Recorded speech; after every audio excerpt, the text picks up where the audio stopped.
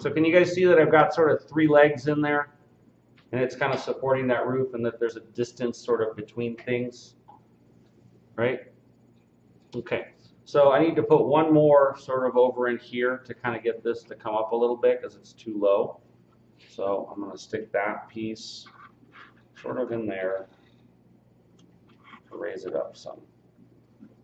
Probably somewhere like about right in there. Okay, so let me line that up and I'll put some glue in it.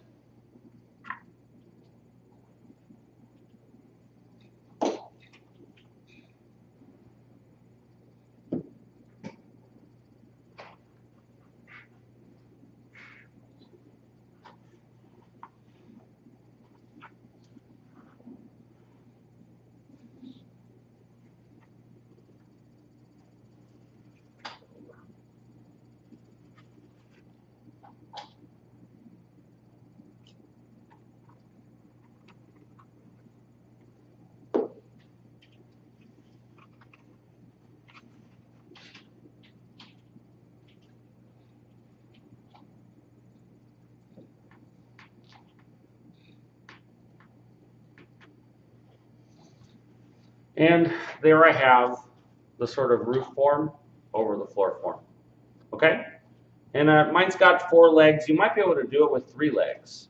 So what I want you guys to verify is that at no point is the distance between things less than about one inch, and at no more than about two or three inches.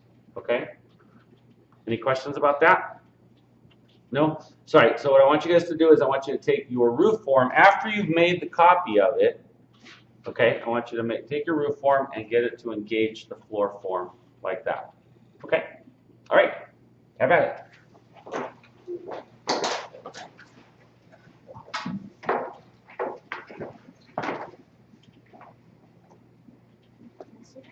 Sure, there you go.